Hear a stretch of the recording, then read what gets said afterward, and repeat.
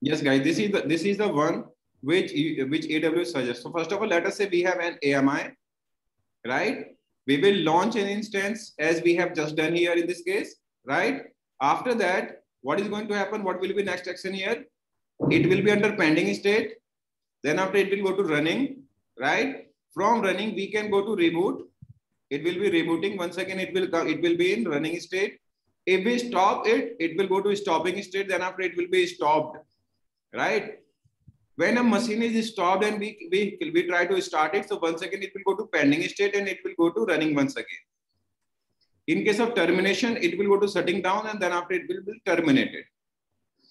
If an instance is stopped and we would have to terminate it, then definitely it will go in this particular way from stopped, it will be terminated directly. So are we clear with this? Yes. So usually people try to like what are the states? So like pending, Second one is running, stopped, and terminated. These are major states. Guys, see, like over here, we are not constant about the state because reboot cannot be a permanent state of any machine. Okay. Reboot cannot be a permanent state of any machine. It could be running, it could be stopped, it could be terminated where the particular work is under process like pending, running, stopped and terminated. These four measure, if you remember, then that will be more than good enough. Shutting down and stopping, right? So that is not a case here. These are in transition. Yes. So even uh, if you see like uh, like running is a particular state of operating system that machine is serving uh, your your uh, like request. So that is a particular thing. So now guys, let us try to understand that what are the components do we have here? Let us try to understand this particular section here. So guys, first of all, we have instance ID. So guys, if you are planning to appear for the AWS exam, then there is a question which usually appears within that. So question here is, what is changed in AWS? So guys, earlier these, these particular instance IDs used to be of 8 byte only, like this only. But now these are of 17 byte. It means the particular instance IDs and the, you can call it like resource IDs are modified. Resource IDs length are changed now. Earlier it used to be 8 byte, now it is of 17. Then after when we talk about instance state, it could be like running pending or terminated, We should be uh, we should know about it. So right now it is under running. This is going to be instance type. So guys, usually people are asking this question. If you are working with AWS, and then usually people prefer to ask this question that I, can, I have an option known as finding. What does it mean, guys? Any idea what is finding? Anyone? Find, finding means like uh, giving your recommendations to AWS. What type of recommendations, sir? Like just uh, feedback feedback regarding what? Can you explain a bit more? Regarding EC2 instance, like uh, any uh, like improvement while launching the instance? Uh, not exactly. So let me tell you, there is a particular service on AWS console, which is known as like uh, AWS Compute Optimizer. I'll show you that. Okay. This is the one, like AWS Compute Optimizer. So what does it do? So let us say we are running more than 500 instances. So it is not practically possible for us that every single time we go and we check the like CPU uses, maybe memory, network, and other use cases of that particular EC2 machine. So if we start working with this particular component, like let us say if, if I opt in this particular feature, so right now it will start monitoring my all the components within AWS environment related to EC2 irrespective of reason, this is going to find out that wherever we are running any machine, then it will check for last 14 days. It will generate a report for you that how many instances are overloaded, how many instances are optimized, and how many instances are underutilized.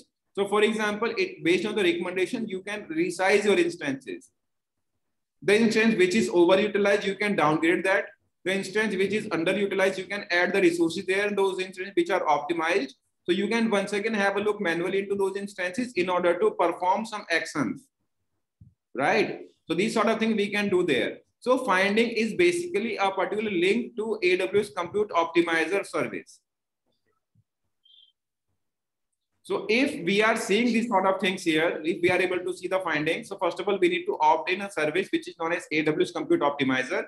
This is going to be for free. AWS does not charge you anything for this. So it is always recommended to opt in this service.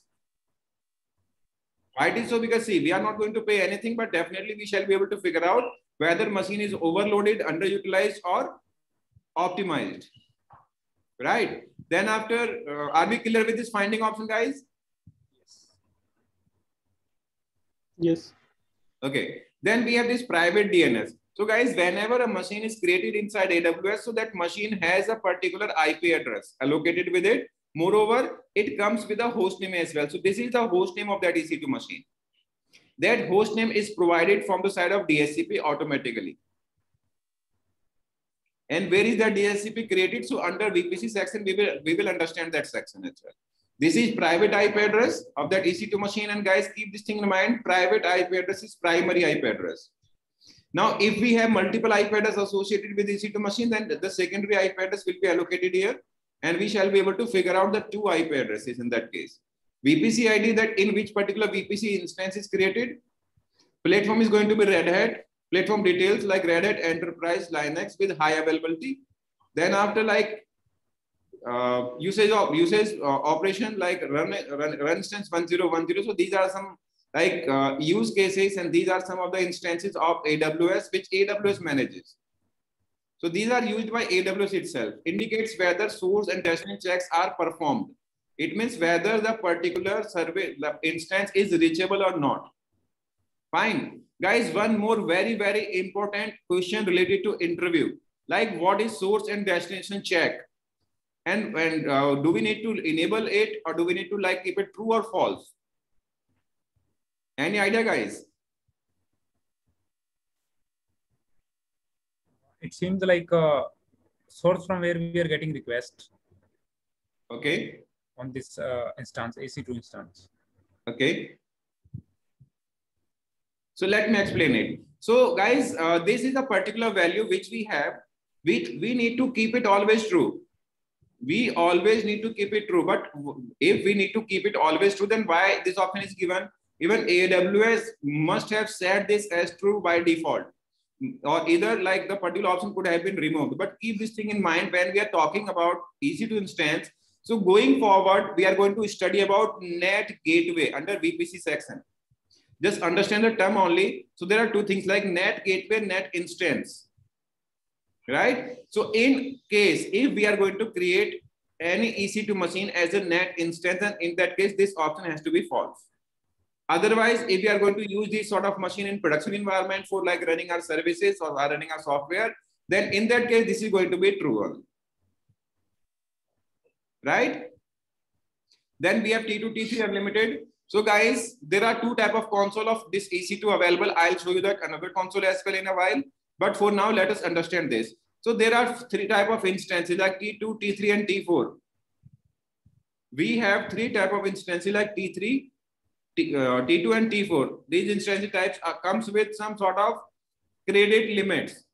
Like if you are using the credit limits beyond a particular set threshold, then your server will consume all the particular allocated credit points before like before a month. And in that case, the server will start performing low.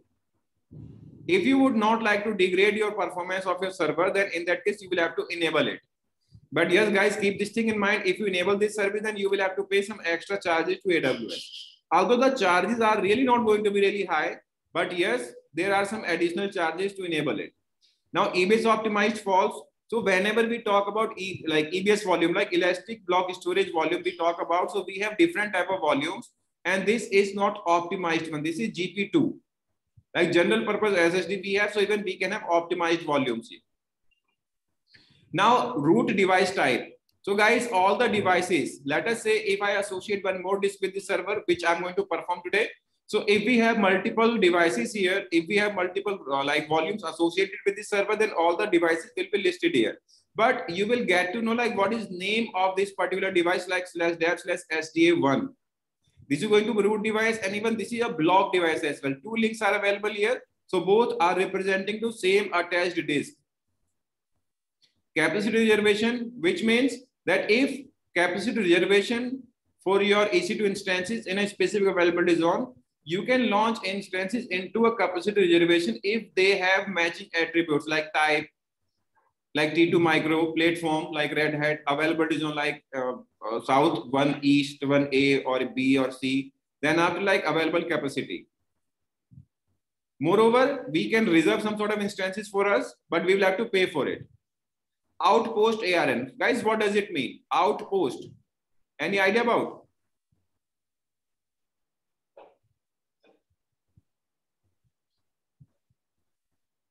Guys, what is outpost?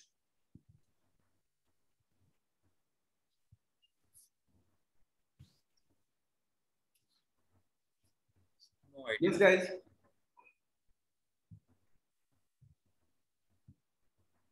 Any idea?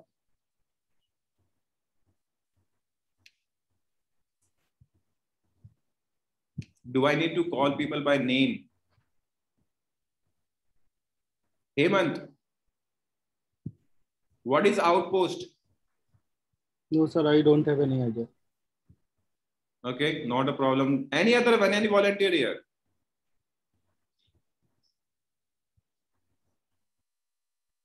No volunteer, only me. Okay.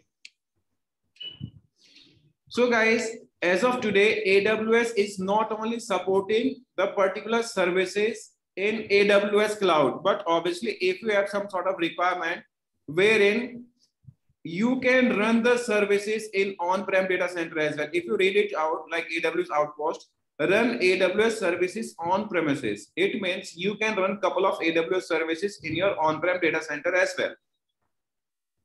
Right? So if you are running a particular hybrid cloud environment wherein you are not only using your uh, like uh, AWS resources, but the particular data center as well, you have integrated with AWS cloud. So you will be allowed to manage the resources from this console only. In that case, if the machine is running on, on like on your on-prem data center, then you will get an like outpost ARN. Right? Okay. Once again, we have a public DNS. It means the particular IPv4 address we have, and the same is converted into DNS as well. This is public IP address. So guys, there is one interview question which is usually asked to those guys who have three to four year of experience. That what is difference between public IP and elastic IP?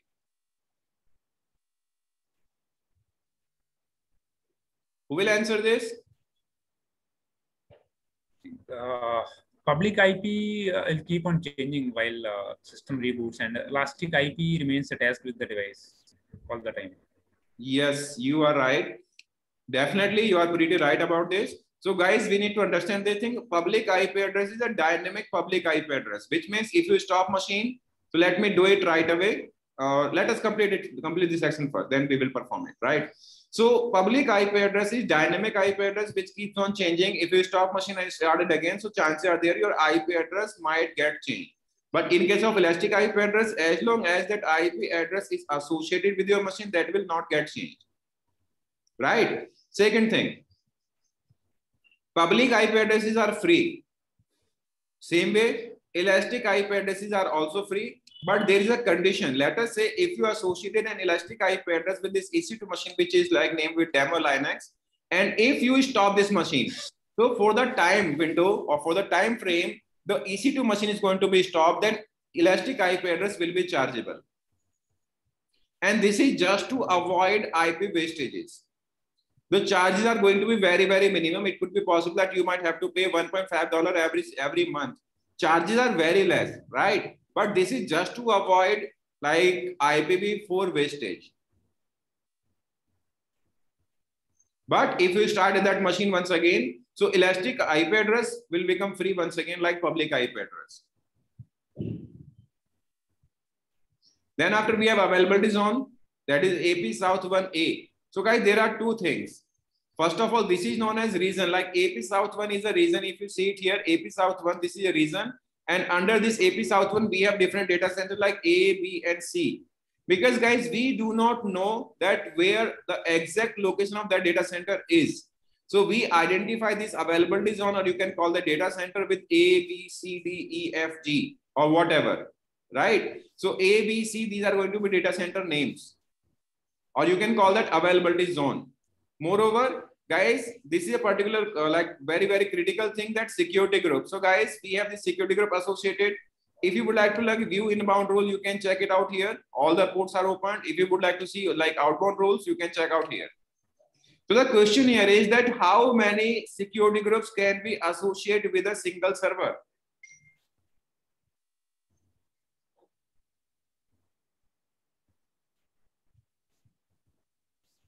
Yes, guys. Single. My question here is that how many security groups can be add with a single EC2 machine?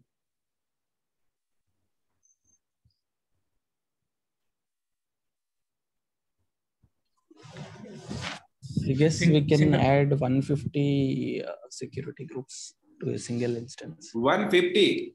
Yeah. Okay. So guys, there is a particular section known as limit. So this limit section you will have to explore yourself, wherein you will be able to figure out that uh, what are the components here, like uh, reserve instances 20 you can have. Moreover, like uh, running on demand instance you can have. Same here, like if you try to explore this section, then you will get to know about security groups as well. So we do not have any like current limit because this is my new account, right? Total number of security groups for this region allowed. So like there is no such current limit. But if we talk about like how many security groups can be associated with a single EC2 machine, guys, these are approx 50. But recently these are modified limit to 60 as well. But the earlier limit was 50 only. We can associate 50 security groups with a single EC2 machine. One more condition was there that how many rules we can add to one security group. Two, two scenarios are here that we can add 50 security groups to one EC2 machine. And second question here is that how many rules we can add to one security group. So guys, uh, the earlier limit was 200 security group, 200 rules per security group, but right, right now it is modified up to 250 but that is getting implemented. So if you tell if you ask if you answer within your interview like 200 that is that that is sufficient. So guys are we clear with this? Like 50 security group rules can be attached to a one one ec2 machine and 200 200 rules per security group we can have right guys but it is not recommended to have a lot of security groups rule implemented in security groups. A lot of rules are not supposed to be there because it will enhance the latency because every time there will be a request coming from a different IP address, then every time all the security group rules will be scanned. So we have to keep the security group very, very optimized. Right? This is my AMI, which I used in order to boot this instance. This is subnet ID. This is interface. IAM role, if any associated. This is key pair name. This is owner ID. When the machine was created, like termination protection false. Life cycle is going to be normal. Then after monitoring, basic monitoring is there. So guys, one exam question is there. The question here is that what is the particular time span for default and detailed monitoring? So guys, basic monitoring means like default monitoring that is for five minutes. And we talk here like advanced monitoring or you can call it detailed monitoring, right? So the time span is going to be one minute. If you have set up any alarm, so alarm state will be visible here. What is kernel ID, RAM ID, Nitro enclaves enabled. So guys, what does it mean Nitro enclave?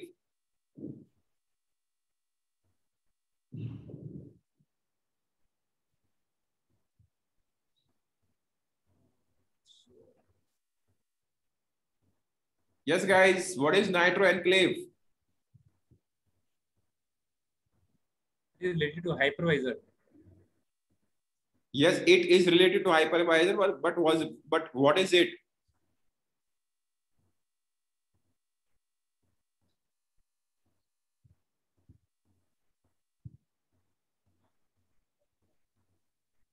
Any idea, guys?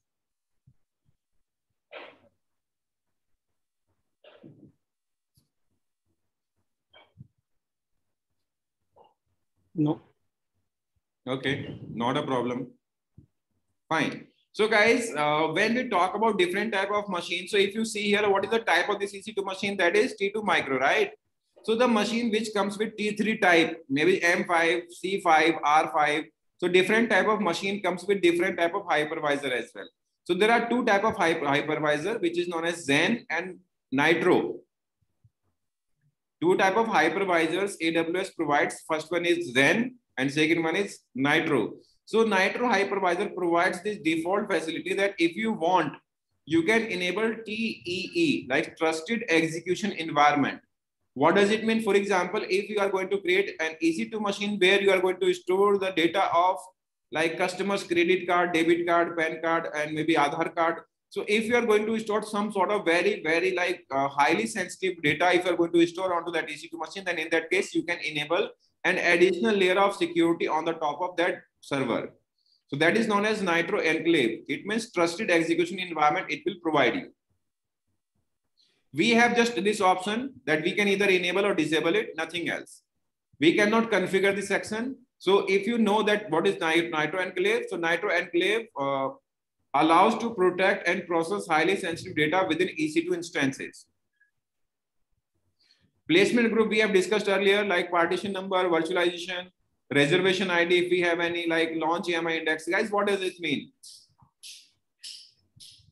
What is launch AMI index or AMI launch index?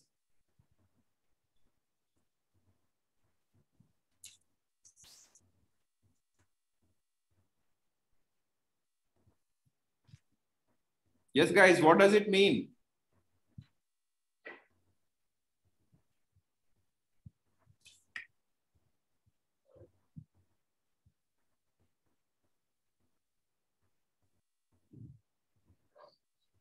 So guys, let us say if we are working in an auto scaling environment and multiple servers are created, so it is going to indicate that in which order, like number of instances are boot are created here.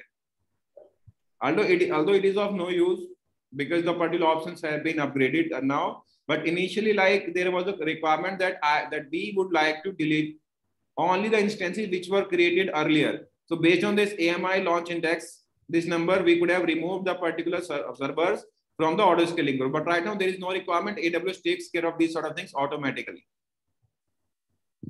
Yes, guys, one more thing is here like what is affinity?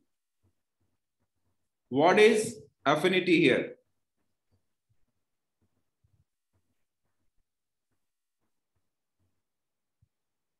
Any idea, guys?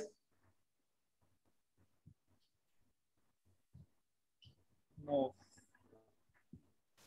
Okay. So guys, affinity means, for example, that as we have already discussed that we can have physical hosts as well in AWS environment. Like AWS will provide, provide us some sort of physical host and we are going to manage the particular servers on the top of those physical hosts. For example, I'm going to create multiple virtual machines. And I would like that if I'm going to reboot the machine my like I mean to say my virtual machine, if I'm going to reboot, then it should be rebooted on the same physical hardware. So in that case, I will get an option in order to like have Affinity enabled. I'll say yes. So it means if the machine is getting rebooted, then the particular same physical hardware will be allocated to that machine. Right? Uh, can you please elaborate once more? Yes. For example, that we have one physical hardware, that, we have four physical hard servers in AWS data center, right? And right now, what do we want? Like we want to reboot one EC2 machine. So let us say that if we are running a particular cluster for running our virtual server, so it could be possible during reboot that the hypervisor or the particular cluster will migrate your machine from one server to another, maybe because of high load on that particular physical server. So the machine might get migrated. But if this option is enabled, so irrespective of the condition of physical hardware, your machine will be running on the same physical host. That is known as affinity. But this option is useful only in case if you are running physical servers in AWS environment. This option is not applicable for this sort of machines as we are going to boot. This option is applicable only in case of physical hardware if we have in AWS. Otherwise, this option does, does have uh, like has nothing to do with uh, like EC2 machines. Moreover, we can check like number of options. uh, my my question is uh, whether in uh, like uh, hybrid model, let's say we are managing some of the infra here locally, so we'll be able to use this feature affinity. Yes, you will be able to use, but let us say if you have your hypervisor which you are managing yourself, like AWS is not taking care of that. For example, if you are using AWS Outpost, like this one, so if you are using AWS Outpost and you have your physical server where multiple virtual machines are running, so only in that case you will get this option. Otherwise, like this not this does not make a sense because right now we cannot decide that we want to have same physical hardware. That physical hardware availability will be decided from the side of AWS. Okay. So guys, one more very, very interesting and important question here we have. What is stop hibernate behavior? What does it mean, stop hibernate?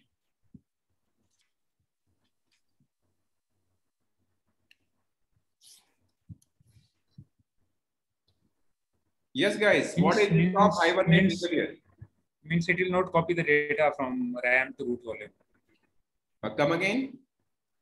Uh, means uh, like uh, as per uh, Hibernate behavior, we'll uh, we copy the RAM data to root volume in case uh, like system is in, like uh, hibernation mode or we stop the solution. So in case if this option is enabled, in that case, it will not copy the data from RAM to root volume. Okay. Uh, can you let me know any use case of this? You are absolutely right about it. Some the concept goes like this only.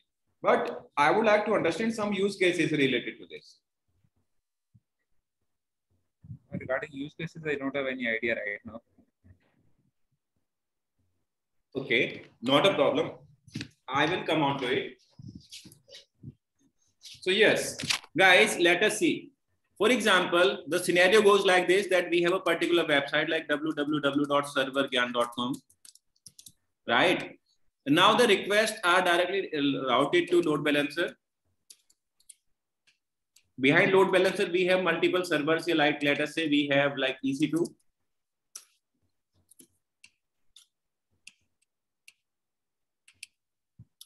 like we have EC2 machines running here, maybe three machines we have.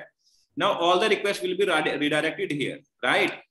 But what if I want to add one more component in between that is going to be maybe varnish. So varnish is a particular server, if you might have heard of it. So that is known as for caching. It means now request will be routed like this. All the requests will be forwarded to Varnish. Now Varnish will forward request to EC2. And let us say if it is going to like accept any request from EC2, it is not only going to serve it to load balancer, it will cache the data within itself. And all the data, whichever is being cached by the server, this data will be loaded onto RAM. In order to provide the like uh, customer response very faster, this sort of data is going to be stored on the top of RAM itself.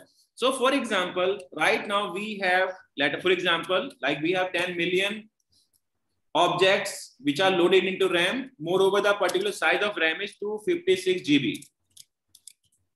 Right? This is the particular scenario. So right now, 10 million objects are loaded into 200 GB of RAM. Like 200 GB of RAM is occupied and total RAM was this much. We have 10 million objects. So if we have to reboot this particular server because of any performance activity, so guys, this is going to hours. This can take approx multiple hours in order to restore or in order to cache the all objects. In order to cache all objects within this particular space, it is going to take multiple hours. It means the requests which are coming from this load balancer to ELB and from ELB to this EC2 machine. So these servers will be overloaded because every single request will be traveling to EC2 machine. Right? So now what happens? So guys, when we are talking about that this data, the particular data which is lying here, so right now what would happen? So if the particular machine is enabled with a particular option which is known as hibernation enable, hibernate option is enabled. So what would happen? There will be a disk, which is known as slash. So this system, it means this operating system will write all the data, like the particular 10 million objects, maybe 200 GB disk, like space. that will be written here, maybe onto some XYZ file. Right? But guys, first of all, this volume should be encrypted.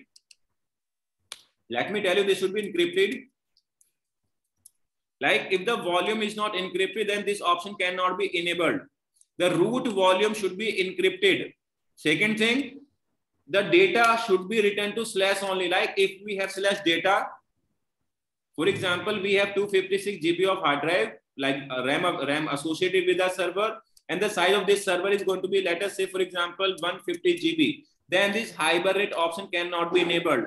So in order to enable this hibernate option, we need to have, in order to enable hibernate option, we need to have at least 256 GB space available on this particular root device at all given point in time. We are not supposed to utilize this data even for backup purpose. If there is a requirement to take backup, we need to, we are supposed to add some additional disk space onto this server, maybe under slash data section, we can mount another volume and then we can perform backup and other stuff that particular space should always be available